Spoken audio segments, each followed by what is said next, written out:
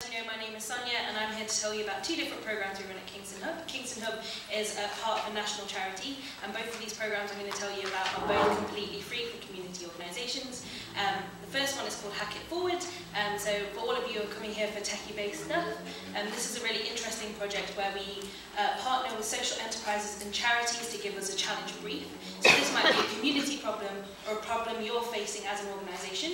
We then train programming students and other students um, to create tech solutions to this. So over an eight-week period, they do a series of mini hackathons to help create a tech-based solution to your problem.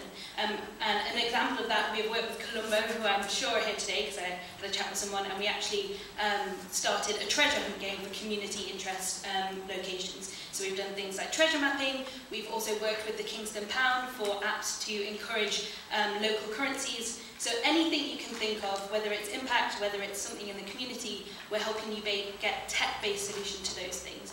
Like I said, this is completely free and you can come and find me afterwards. Um, the other thing that we are also offering is something called the Social Innovation Programme. Um, this works in the same kind of basis as Hack It Forward. Um, we recruit teams of students and train them to be consultants. And over a six-week uh, period, they consult for you.